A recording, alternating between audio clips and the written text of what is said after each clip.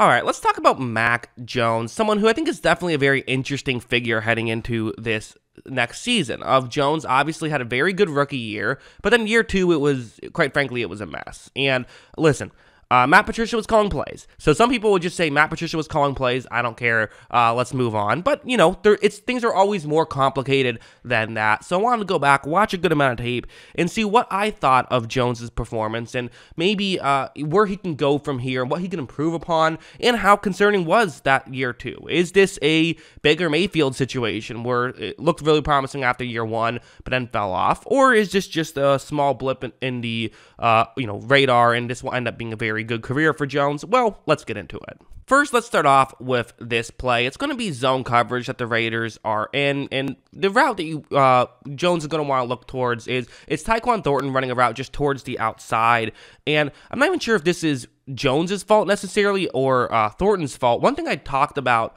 uh, in a video I made about Thornton actually was how it seemed like Jones and Thornton just did not have the chemistry. So I wanted to bring it up in this video as well because it's a really important detail and you, you got to get the chemistry down if you're going to be you know playing together you have to be able to figure this stuff out where watch what happens when this play begins jones is going to take the snap and right here you see that for mac jones uh, it's going to be you know uh, there's an opportunity to make this throw, right? There's a window. You can see how this can work, but really it seems like him and Thornton aren't on the same page. Jones is expecting Thornton to continue running at a high speed towards the outside. However, Thornton kind of stops right there and the ball is thrown away. Again, you could look at that certainly and say, oh, that was just a missed throw from Mac Jones. But if you look a little more closely, you see that no, that was actually a miscommunication from Mac Jones and from Thornton, which a lot of times that's actually a, a tip to learn uh, and tip to remember when you're watching football is a lot of times when you look at a throw and say, what was that? It's usually a miscommunication, not a missed throw. These guys are really accurate. They don't miss throws by 10 yards, right? They don't miss th- throws by five yards or even by two yards typically. They're really accurate. So usually when you see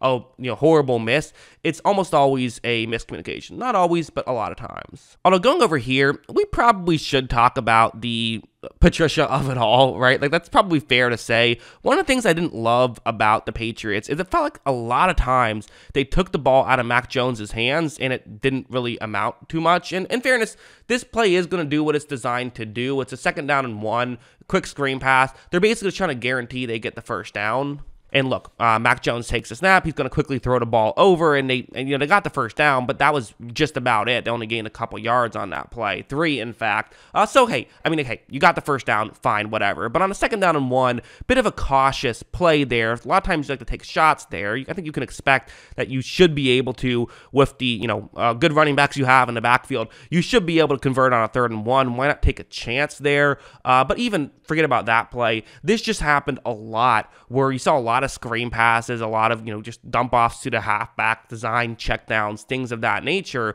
uh, which almost is what you do when you have like a quarterback that is just like objectively bad, which is obviously not the case with Mac Jones. He isn't a, a bad quarterback, even if he didn't have a great year last year. I feel like they kind of almost babied him last year more than they should have, and it, I think hurt him more than it helped him. Some quarterbacks need to be able to kind of have a little bit of open space. Jones's whole benefit, the whole reason people like Mac Jones, the whole you know reason why you draft him is because he's a smart player. That's kind of what he's known for. He's not the you know not a physical specimen, but is smart. So when you run these plays that has basically are you know these one read plays, which they were there was a good chunk of last year for the Patriots, you're pretty much going away from what makes Mac Jones good. Like if you have a short, fast receiver, you don't have them run uh, you know contested catch routes very frequently. You have them run deep routes and try to use their speed to get open, right? You play to your player's strength, especially when it's your quarterback. And I think that was a mistake that New England did last year and part of why Patricia won't be calling plays this following season. Again, stuff like this too, where it's going to be a it's a one on one matchup on the outside.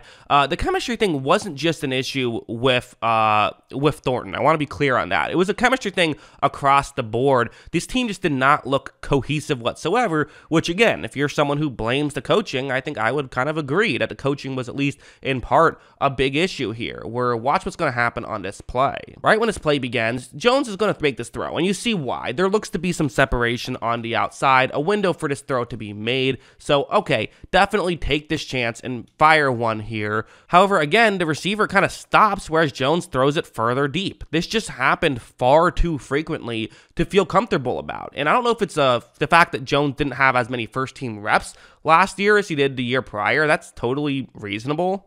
I don't know. It's just a weird situation, and I don't really get why it happened, but that was definitely a big part of it.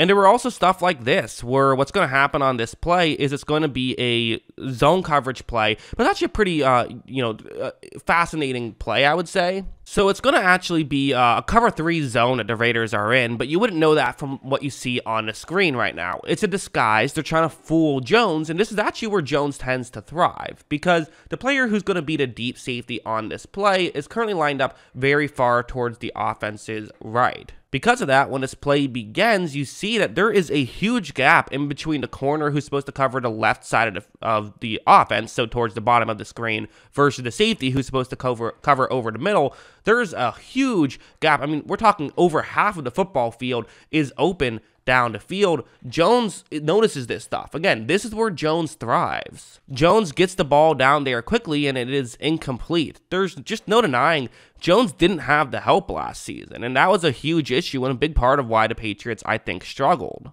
But what's funny is this play was the very next play where, okay, all right, fine. Uh, you know, a good play by Jones. It wasn't complete. Whatever. It is what it is. On this play, Jones takes the snap. There was a little underneath route under the coverage, and that one is dropped as well. Uh, so on this third down situation, which listen, maybe you don't throw the check down on third down. I don't know, but he should have already had a first down because uh, he made a good play on the last one, and it didn't work out. So at the end of the day, uh, what I've always said is no quarterback looks good with a bad receiving corps. Every single quarterback is going to look bad if you have a bad receiving corps even Tom Brady himself, part of why he ended up leaving the Patriots was because they didn't have a great receiving corps and it made Brady look worse and people thought that he was washed up. I mean, that that is what people thought when he left New England. People did not think he was still uh, going to be able to win Super Bowls after he left because the receiving corps made him look worse. Now, I should also mention uh, this Patriots receiving corps was not a disaster either. It, you know, PFF had them ranked as the 20th